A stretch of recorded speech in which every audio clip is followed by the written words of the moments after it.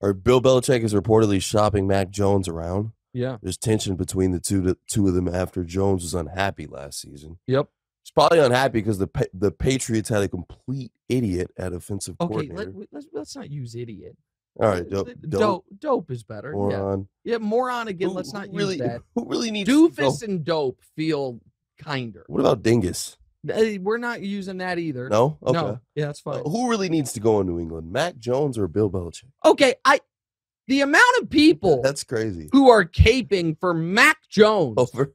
over the greatest coach ever is baffling to me. Now, did Belichick screw up the staff last year? Yes. Has he been bad on the GM part of his job for a few years now? I would argue yes. He's getting old. Yeah.